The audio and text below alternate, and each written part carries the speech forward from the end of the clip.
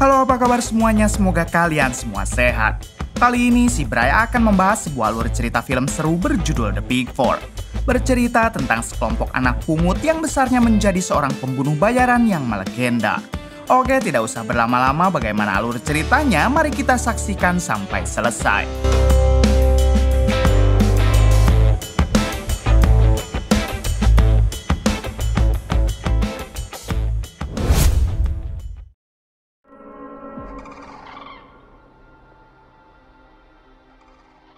Di awal film memperlihatkan seorang bocil yang sedang diantar oleh biarawati ke sebuah panti asuhan. Di sini si bocil tampak senang karena ia yakin dirinya sekarang bisa terurus di dalam panti asuhan tersebut. Kita akan jaga dia dengan baik. Namun setelah si bocil masuk, ternyata tempat itu bukanlah panti asuhan biasa, melainkan tempat para bocil disandra dan organ dalam mereka akan dijual. Kemudian kita akan diperkenalkan dengan seorang remaja yang juga sedang disandra bernama Pelor. Di sini Pelor mengatakan kepada si bocil kalau si bocil tidak usah khawatir karena Pelor pasti akan menyelamatkannya. Namun bersamaan dengan itu para pengurus panti datang dan langsung menyeret Pelor karena sekarang giliran Pelor yang akan diambil organ dalamnya. Tunggu dulu! Eh, dia aja nih! Ususnya lebih bagus! Singkatnya, Pelor dibius dan akan segera dioperasi oleh dokter. Tapi diketahui kalau di situ ada seorang suster baru yang sedang menyamar dan suster tersebut bernama Alpa. Hati dong. Sementara di sisi lain, pemimpin dari panti asuhan ini baru saja membawa klien yang akan membeli organ dalam. Tampak si klien yang sudah tua dan akan menyaksikan langsung bagaimana Pelor dibedah. Kemudian saat tubuh Pelor akan dibedah tiba-tiba.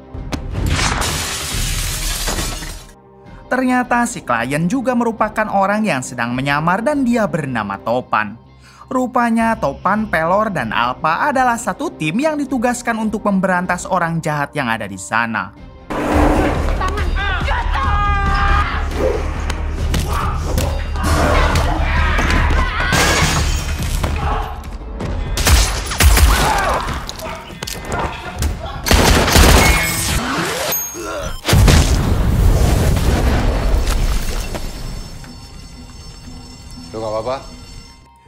Setelah itu, saat Topan CS hendak keluar dari panti, ternyata di luar sudah ada pasukan yang siap menghentikan mereka.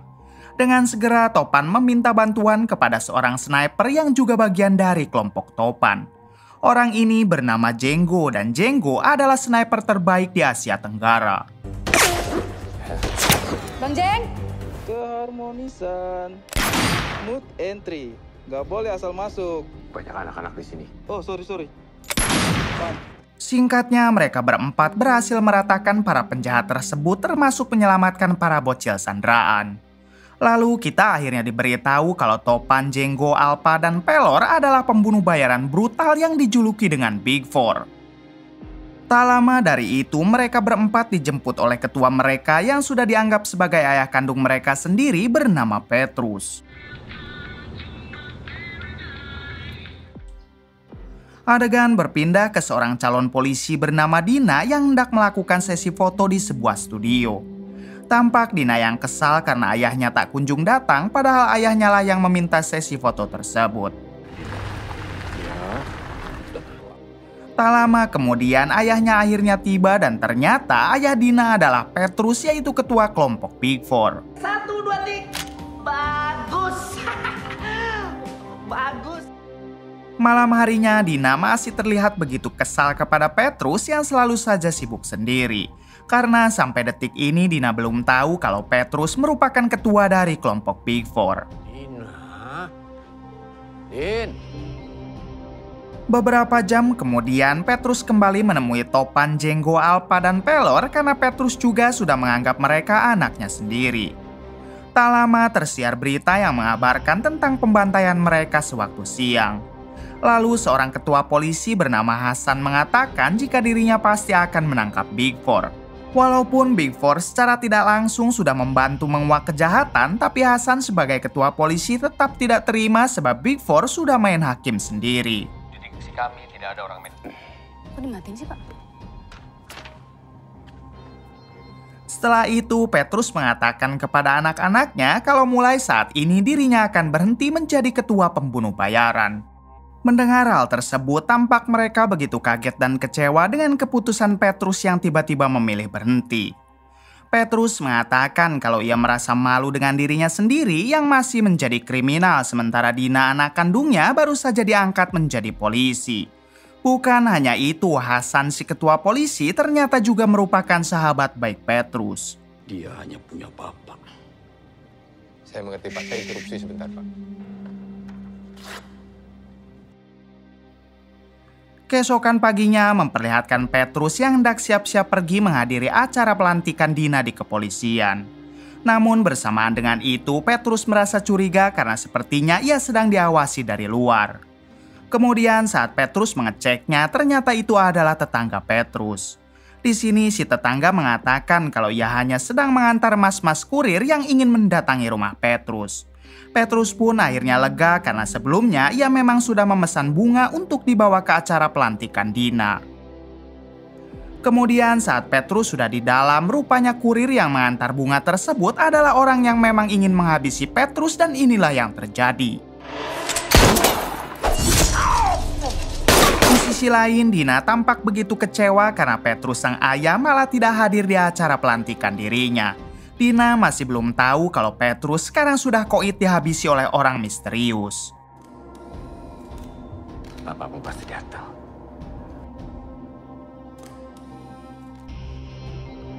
Sore harinya memperlihatkan Topan yang mendatangi rumah Petrus dengan maksud ingin memberikan topi milik Petrus yang ketinggalan. Namun Topan begitu sangat kaget saat melihat Petrus ayah angkatnya sudah tergeletak tidak bernyawa. Tak lama kemudian Dina juga pulang ke rumah dan ia sempat memergoki Topan yang sedang memakai topi ayahnya. Di sini Dina tidak bisa melihat jelas wajah Topan tapi Dina menyangka kalau dialah pelaku yang sudah menghabisi sang ayah. Kemudian Dina mengambil senjata yang tergeletak dan sempat menembak Topan sebelum Topan melarikan diri.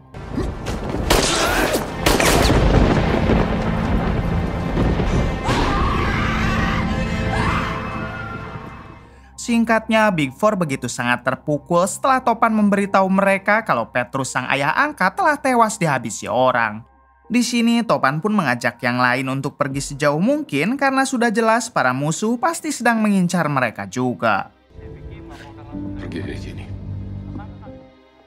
Tiga tahun kemudian, Dina masih terus berusaha menangkap pelaku yang ia sangka pelakunya adalah Topan dan sekarang Dina juga tinggal sendirian di sebuah apartemen.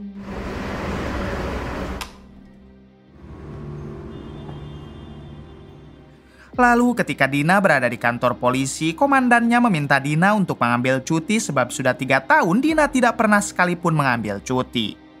Awalnya Dina menolak dan tetap ingin bekerja namun si komandan memaksa bahkan ia sudah menyiapkan beberapa poster liburan yang bisa Dina kunjungi. Ayo. Lalu saat Dina berada di rumah, ia tak sengaja melihat villa bernama Paranais di poster liburan dan seketika Dina teringat akan sesuatu.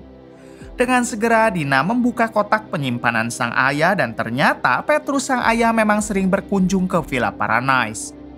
Lalu Dina juga menemukan sebuah foto yang mana di foto tersebut Petrus sedang bersama empat orang anak. Di sini Dina yakin kalau salah satu dari keempat anak tersebut adalah pelaku yang sudah menghabisi ayahnya. Keesokan paginya, Dina mencoba bertanya kepada Hasan si ketua polisi mengenai siapa keempat anak yang ada di foto tersebut. Kita tahu Hasan adalah sahabat dekat Petrus dan mungkin saja Hasan tahu siapa mereka. Tapi sayangnya Hasan tidak mengenal keempat anak yang ada di foto tersebut. Ini cuma foto anak-anak kampung, gak usah kamu tanggepin. Saya bawa laporan tentang Saya ambil cuti. Adegan berpindah ke sebuah pulau yang sangat indah lalu memperlihatkan Topan yang sekarang menjadi resepsionis di Villa Paranais. Tak lama dari itu, Topan dibuat kaget karena Dina tiba-tiba menyambangi villa tersebut. Dengan segera Topan mengganti pakaiannya dan ia pun langsung menyambut Dina. Selamat datang di Villa Paradise. Setelah itu Dina bertanya apakah Topan kenal dengan Petrus sambil menunjukkan fotonya tapi Topan menggelengkan kepala. Lalu Dina kembali bertanya apakah Topan mengenal keempat anak yang ada di foto ini tapi lagi-lagi Topan mengaku tidak kenal dengan mereka. Padahal keempat anak yang ada di dalam foto tak lain adalah Topan, Jenggo, Alpa, dan Pelor. Kemudian Dina memutuskan untuk menginap di villa tersebut dan Topan tidak bisa menolak sebab ia tidak mau Dina menjadi curiga. Lalu ketika Topan mengantar Dina ke kamar, Topan tak sengaja melihat dua orang yang mencurigakan. Topan pun bertanya dengan siapakah Dina datang ke sini dan Dina menjawab sendiri. Dengan segera Topan meminta izin kembali ke lobi dan menyuruh Dina untuk beristirahat. Singkatnya, Topan bertemu dengan dua orang mencurigakan tersebut. Di sini terungkap kalau dua orang itu memang sudah dari tadi mengikuti Dina dan ingin bermacam-macam kepada Dina. Topan yang tidak mau Dina sampai celaka, ia pun segera membesarkan volume musik supaya Dina tidak bisa mendengar keributan lalu Topan mulai mempermainkan mereka.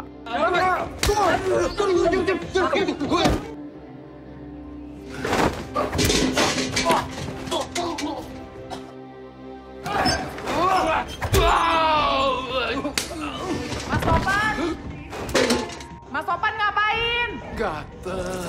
Jelasin, bisa? Ya, ada apa mbak? Tak lama dari itu, Dina tiba-tiba turun ke bawah sambil bertanya dari sejak kapankah Topan bekerja di villa ini. Lalu Dina juga tak sengaja menemukan foto Petrus di atas meja hingga Dina sadar kalau Topan dari awal memang sudah membohonginya. Karena sudah ketahuan, Topan pun bersedia menjelaskannya dan meminta Dina untuk menunggu di luar.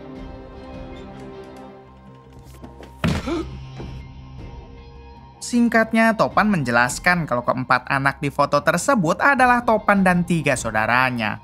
Dari kecil mereka sudah diasuh oleh Petrus dan sudah menganggap Petrus sebagai ayah kandung mereka sendiri. Mendengar hal itu, Dina langsung meminta Topan untuk mengantarkannya menemui ketiga saudaranya tersebut. Karena Dina yakin kalau salah satu dari mereka adalah pelaku yang sudah menghabisi Petrus. Pada akhirnya, Topan pun bersedia membawa Dina dan yang pertama akan mereka temui adalah Jenggo.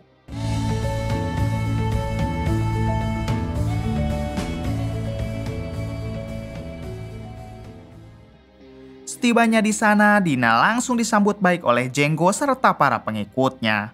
Diketahui sekarang Jenggo telah menjadi seorang tabib palsu dan tinggal di pinggir hutan. Raga, jiwa maupun kata. Adegan berpindah ke sekelompok mafia yang baru saja menghabisi kelompok lain dan mafia tersebut dipimpin oleh seorang pria bernama Antonio Sandova.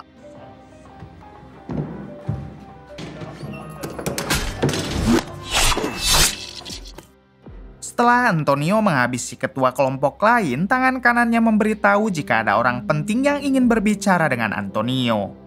Ketika diangkat, ternyata orang penting itu meminta Antonio agar mendatangi kelompok Big Four sekarang juga. Oke. Lu suka ke pantai gak? Kembali ke Jenggo yang kali ini memberikan Dina sebuah ramuan agar Dina bisa terlihat lebih bugar dan tenang. Akan tetapi karena Jenggo fokus mengobrol dengan Topan, Jenggo malah salah mengambil ramuan. Ba Bapak Jenggo, Ah, silakan diminum, silakan diminum. Alhasil Dina seketika menjadi berhalusinasi dan bertingkah aneh. Mengetahui hal itu, Jenggo meminta pengikutnya pergi sementara ia dan Topan akan berusaha menyadarkan Dina.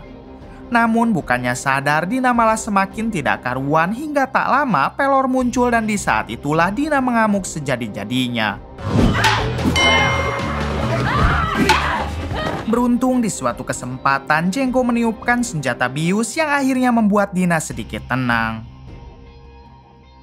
Setelah itu, Topan terpaksa mengikat Dina di luar lalu ia masuk untuk berdiskusi dengan yang lain. Di sini mereka bingung bagaimana cara menyembuhkan Dina. Namun Jenggo yakin kalau efek ramuan tersebut hanya sementara dan Dina pasti akan segera sadar kembali. Kita janji sama bapak untuk jaga Dina.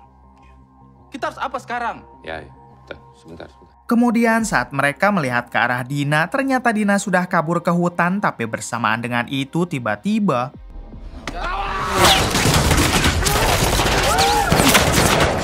Ternyata itu adalah kelompok Antonio yang memang diutus untuk menghabisi Big Four. Topan yang menyadari Dina pasti dalam bahaya, ia pun mencoba menyusul Dina ke hutan sementara Jenggo dan Pelor akan berusaha menahan serangan tersebut.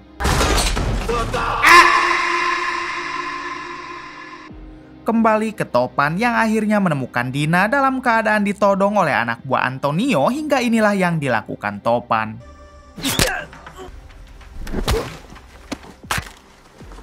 Setelah itu, Dina yang sekarang sudah sadar dan sempat melihat kehebatan Topan, ia pun meminta Topan berkata jujur mengenai siapa sebenarnya Topan. Namun karena waktunya tidak pas, ia pun meminta Dina bersabar karena saat ini ia akan menyelamatkan dulu Jenggo dan Pelor.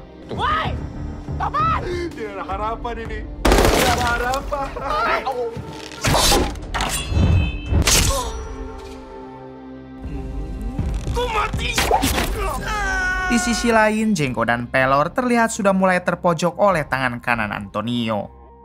Lalu Jenggo menyuruh Pelor untuk bersabar karena dirinya pasti akan menyelamatkan Pelor. Akan tetapi bersamaan dengan itu ternyata Pelor lebih memilih kabur. Kali ini juga saya akan... Kemudian Jenggo mencoba menantang Antonio berduel dan Antonio yang jauh lebih hebat dapat dengan mudah melumpuhkan Jenggo. Lalu saat Jenggo akan dihabisi, tiba-tiba Topan muncul sambil menyandra satu anak buah Antonio. Namun Antonio yang sama sekali tidak peduli kepada anak buahnya, ia pun tanpa ragu menembak anak buahnya tersebut lalu perduelan terjadi antara Antonio dan Topan.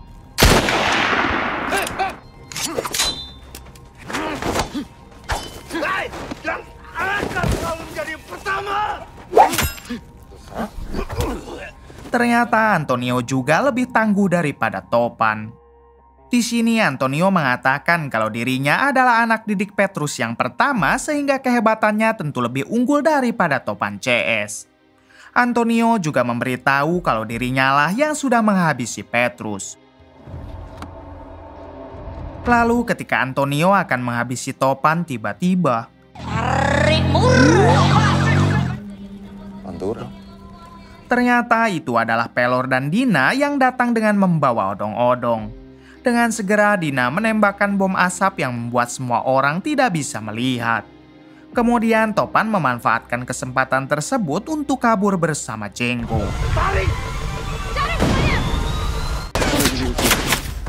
Topan! Lalu ketika mereka mencoba kabur, ternyata Antonio masih berusaha mengejar tapi untungnya Topan mampu menyerang Antonio sampai dia terpental. Singkatnya, mereka berhenti di sebuah gubuk dan Topan langsung diobati oleh Dina. Namun di sini Dina tak sengaja melihat bekas luka tembak di punggung Topan yang membuat Dina sadar kalau Topanlah pembunuh yang selama ini ia cari-cari. Dengan segera Dina menyerang Topan lalu ia pun bergegas pergi karena merasa sangat dibohongi.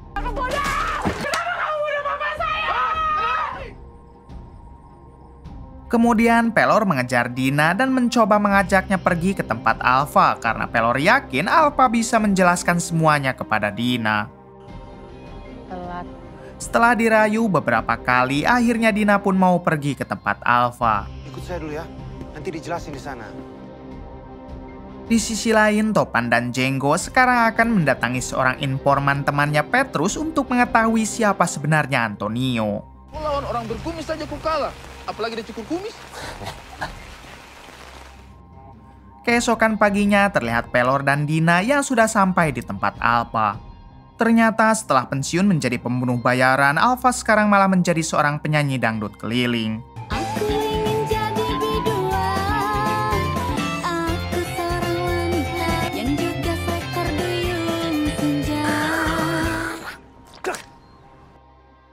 Di balik itu tampak Antonio yang sekarang menyewa beberapa pembunuh bayaran brutal dan para pembunuh bayaran tersebut dipimpin oleh seorang pria bernama Asep. Topan! Wah, hampir bisa syukur.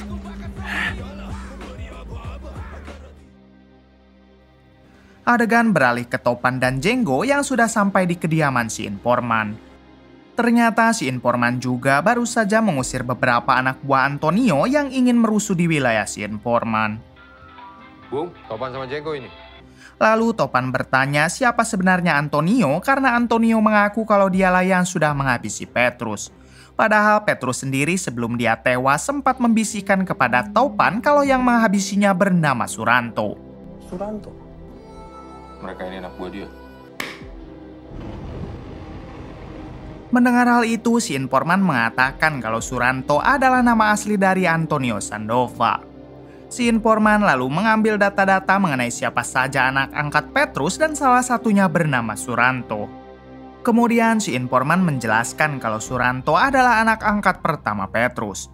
Namun karena Suranto terlalu brutal dan susah diatur, akhirnya Petrus terpaksa mengusir Suranto.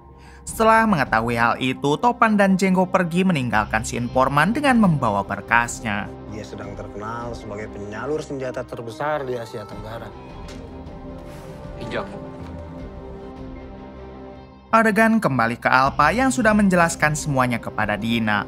Di sini Dina tampak begitu bersedih setelah tahu kalau sang ayah merupakan ketua Big Four atau tak lain seorang pembunuh.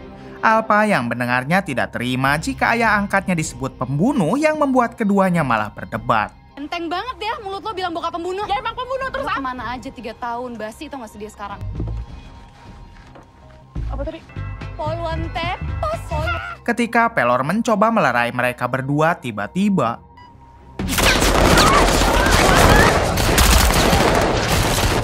Ternyata itu adalah kelompok pembunuh bayaran yang dipimpin oleh Asep berikut dengan anak buah Antonio. Kemudian Alpa menyuruh Pelor menyelamatkan anak-anak yang ada di sana, sementara ia dan Dina akan mencoba melawan mereka. Hati-hati. Dalam aksi tersebut, Alpa dan Dina bekerja sama dengan baik hingga dapat menghabisi satu persatu para musuhnya.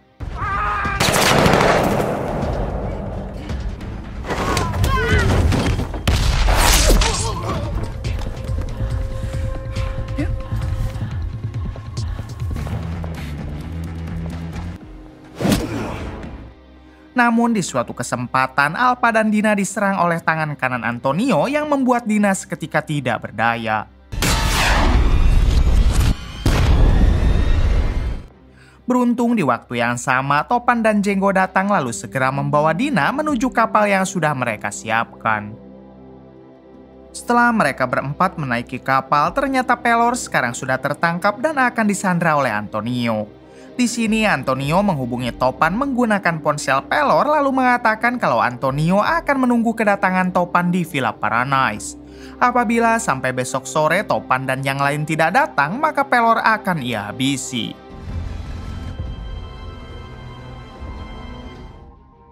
Malam harinya kapal mereka berhenti lalu memperlihatkan Topan dan Dina yang sekarang semakin dekat. Di sini Dina meminta maaf kepada Topan karena selama ini ia menuduh Topan sebagai pelaku yang sudah menghabisi ayahnya. Di balik itu, Jenggo bertanya kepada Alpa mengenai senjata apa yang sedang Alpa rakit. Alpa menjawab kalau senjata tersebut adalah sebuah peledak yang sangat besar dan dia beri nama Kentut Lucifer. 3000. Singkat cerita, mereka berempat telah siap menyelamatkan Pelor, lalu memperlihatkan sebuah mobil yang tiba-tiba mendatangi Villa Paradise. Mengetahui hal itu, Antonio dan anak buahnya yang ada di luar segera menembaki mobil tersebut. Ketika mobil itu dicek oleh salah satu anak buah Antonio, ternyata di dalamnya hanya ada kentut Lucifer yang tiba-tiba meledak. Akibat dari ledakan besar itu, semua anak buah Antonio yang ada di luar harus koit dengan seketika. Kemudian muncullah Topan, Dina, dan Alpa yang segera merangsak masuk ke dalam dan mulai menghabisi sisa anak buah Antonio.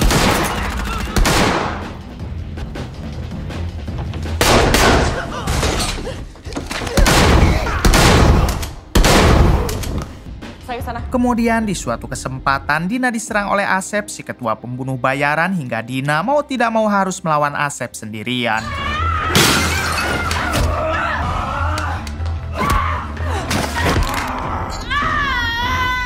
Sementara itu, Topan dihampiri oleh Antonio dan terjadilah perduelan di antara keduanya.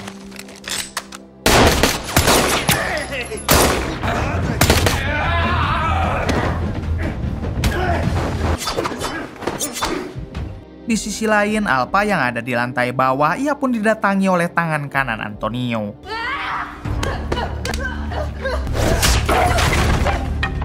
Adegan beralih ke Dina yang sekarang mulai terpojok melawan Asep.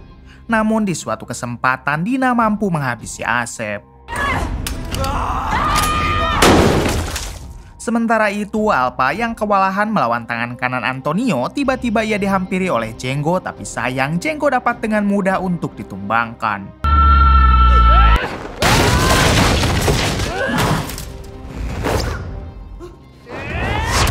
Lalu ketika tangan kanan Antonio hendak menghabisi Jenggo dan Alpa dengan sebuah basoka, ternyata hal itu dapat dibalikan oleh Jenggo.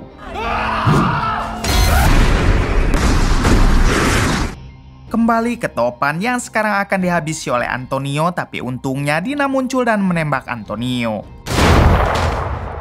Sayangnya Antonio masih bisa bertahan karena ia memakai rompi anti peluru. Kemudian Antonio masuk ke ruangan Sandra dan mengancam akan menghabisi Pelor apabila Topan berani melawan. Awalnya Topan tidak bisa berbuat banyak namun seketika ia teringat dengan nama asli Antonio dan mulai mengejek Antonio dengan sebutan Suranto. Suranto, Suranto. Antonio Sandoval, Ternyata hal itu membuat Antonio marah tidak karuan hingga di suatu kesempatan inilah yang terjadi.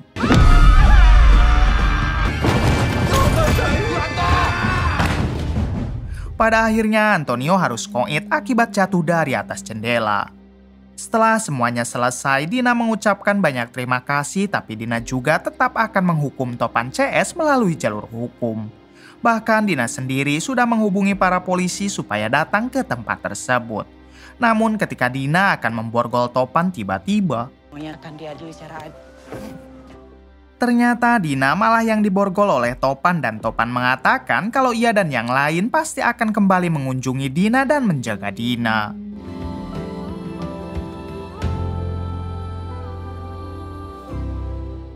Singkatnya, mereka muncul dari persembunyian setelah para polisi lewat. Lalu mereka menaiki sebuah mobil yang memang disembunyikan di pinggir hutan dan pergi dari tempat tersebut.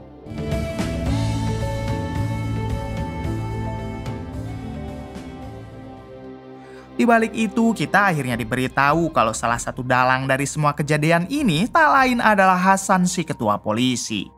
Namun Hasan juga mempunyai atasan lagi yang sangat Hasan takuti dan dia adalah pembunuh bayaran legendaris berjuluk Lady.